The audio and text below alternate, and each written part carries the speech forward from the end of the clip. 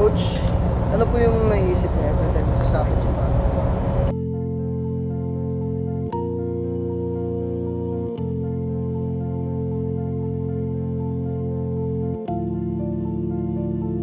Let's go.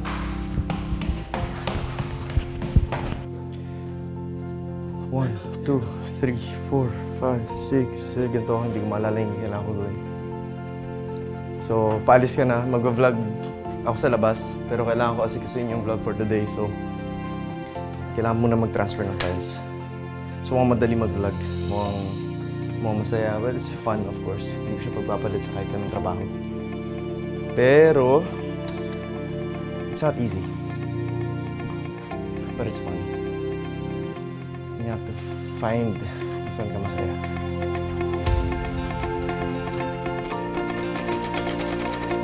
Bye-bye.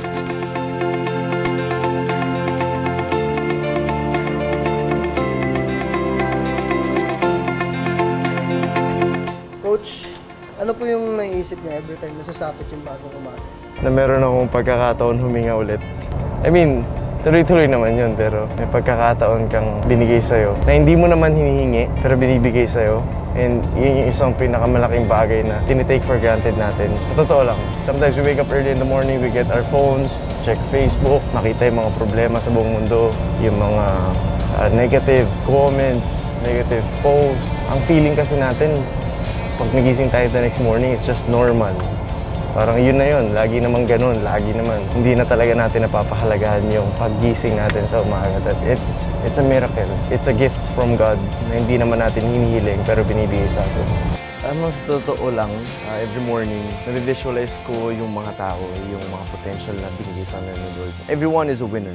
Everyone is a champion. Everyone is destined to be great. Problem is, nakikita ko, ah, they chose to be average. Unconsciously, hindi nila sinasadya because of the surroundings na meron sila. So every morning, I have this fire inside me to show them who they really are. This fire inside me na gusto ko ipakita sa kanila that you can do it, that you can make it. And yun yung vision, yun yung goal ng Mavs Phenomenal Basketball. It's true training of basketball, pero it's just an instrument that I use for the purpose na talagang deeper than basketball. Na every morning, yun nasa isip ko, how can I show them that they can do it? How can I show them that they are destined to be great? Paano ko ipaparamdam sa kanila na lahat na nangyari sa akin is not just luck, it's not just because I was chosen to be like this, pero everyone is destined to be great.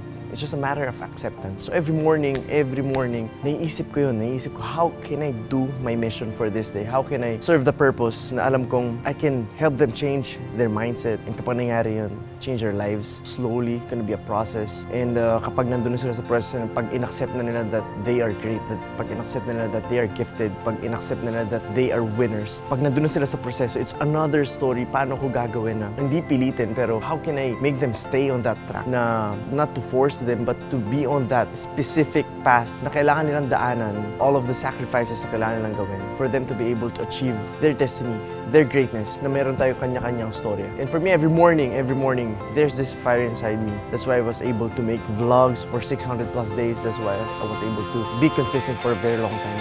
Because that's that's the fire inside me na talagang pinupush ako forward. So every morning, yun naisip ko, everyone is gifted, everyone's a winner, everyone is great, everyone is talented, everyone can make it. It's just a matter of acceptance that you can make it. You just have to believe, you just have to accept, you just have to have faith that you can make it. And once you get that, you're ready there.